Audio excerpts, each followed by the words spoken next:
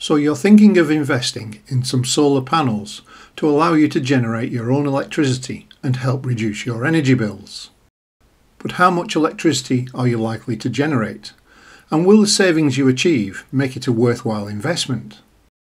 In part 1 of this video, we look at the factors that influence how much solar power generated electricity you're likely to produce. In part 2, we'll walk through a couple of free and easy to use calculation methods that allow you to determine whether solar power might be right for you. To ensure that you're notified as soon as part 2 is released, please make sure you're subscribed and hit that notification bell icon. Before we get started, it's worth just a very quick look at some terminology that we'll encounter. These are kW or kilowatt and kWh or kilowatt hour. Starting with a kilowatt. A kilowatt is a unit of power equal to 1000 watts.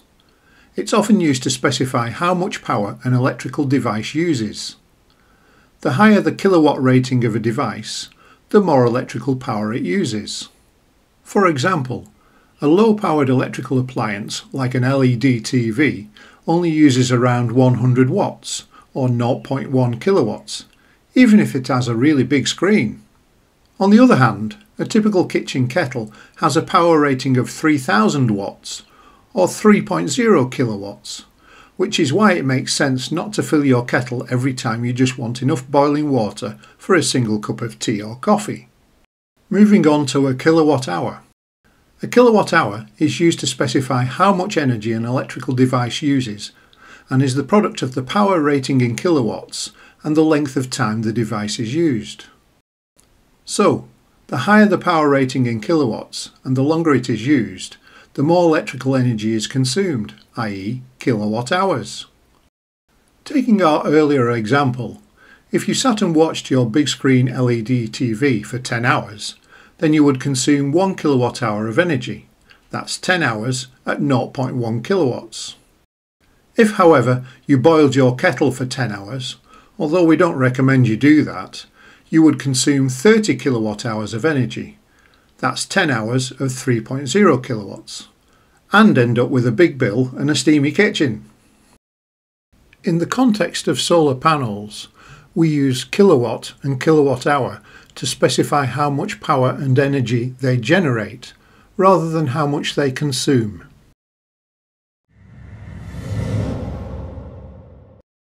Whilst we cannot control how much the sun shines, the location of your home could have a significant impact.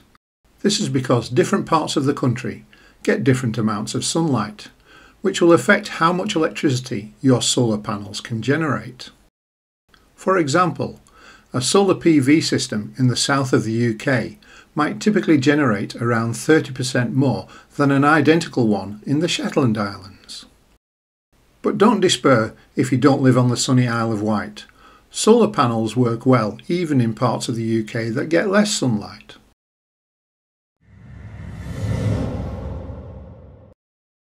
Assuming you're not going to relocate just to get more sunshine, the single biggest influence on how much electricity you can generate will be how many solar panels you have.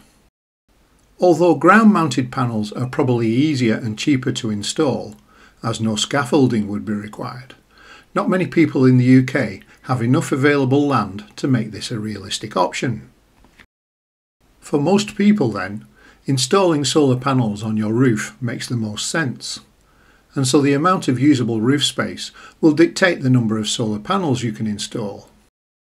With individual solar panels generally measuring around 2 metres by 1 metre, solar PV installations in the UK typically comprise between 4 and 12 panels, depending on whether you live in a smaller terraced house, a medium-sized semi or a detached property. Larger detached homes will obviously provide even more roof space, allowing installations of 16, 20 or even more panels.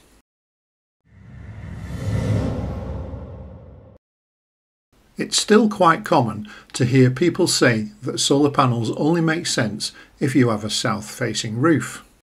But whilst it's true that south-facing panels will generate the most energy, east, west or even north facing panels can still generate significant amounts of electricity. As well as determining how much energy they'll produce, the direction that your panels face will also dictate what time of day they'll generate the most.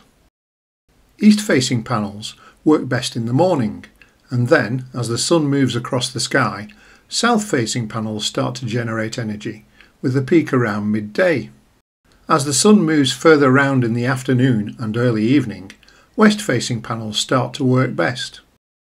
Although north-facing panels are by their nature much less effective, a large array of such panels can still generate worthwhile amounts of energy.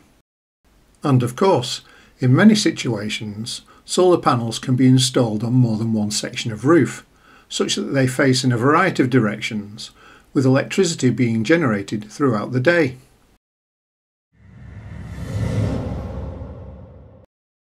Although solar panels can be installed on flat roofs, it's probably fair to say that the majority of properties in the UK have sloping or pitched roofs.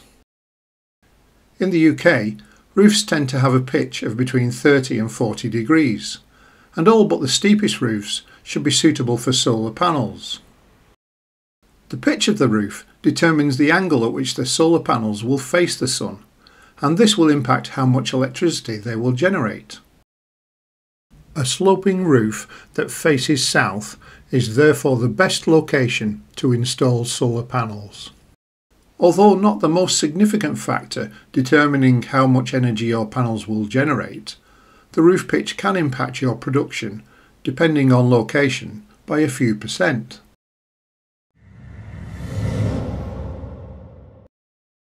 Whilst solar panels don't need to be in direct sunlight to work, shade can make them less effective, to varying degrees. If your roof area, and thus panels, are clear of shade throughout the day all year round, then your panels will generate to the maximum possible for your location. Many properties may experience modest levels of shading, perhaps due to a chimney stack or a nearby tree. This is likely to result in the roof being partially shaded occasionally during the day or in some months of the year.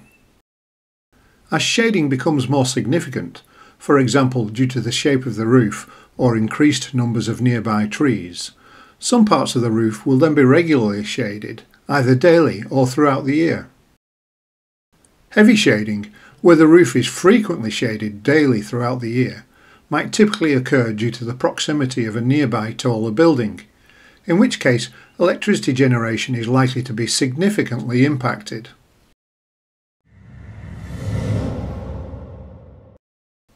So, to recap, the factors that will influence how much solar power generated electricity you're likely to produce are location, where in the country you live, number of panels, the size of your solar panel array.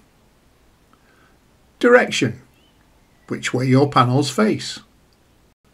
Roof type and pitch, the angle at which your panels face the sun. And shading, how much and how frequently your panels are in the shade.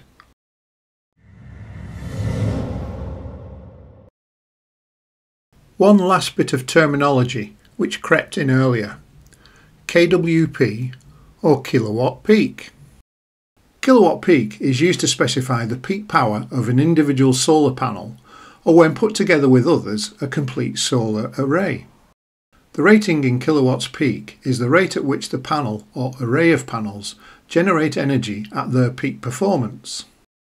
Solar panels are available in a range of sizes and ratings, but at the time of making this video Panels in the range of around 400 to 450 watts peak were typically being installed on residential properties. Smaller and larger panels, both in size and rating, are of course available. So, if we installed 12 solar panels, each with a 400 watt peak rating, our solar array would have an overall rating of 4.8 kilowatt peak. Unfortunately, having a rating of 4.8 kilowatt peak does not mean that we'll be generating 4.8 kilowatts of electricity all the time. In fact, at many times of the day and year, it will be a lot less. The main reason is of course that the sun won't be shining all the time. But it's also because the power rating of solar panels is calculated under a standardised test for panels across all manufacturers to ensure that the values listed are capable of comparison. This standardised test does not represent what is experienced under real-world conditions on your roof. So to work out how much electricity you'll generate in practice, we need to use some nifty online calculators. But for that, I'm afraid you'll have to wait for part 2. If you liked this video, please don't forget to click on the thumbs up icon and make sure you're subscribed and hit the notification bell icon so you're alerted as soon as it's released. Thanks for watching.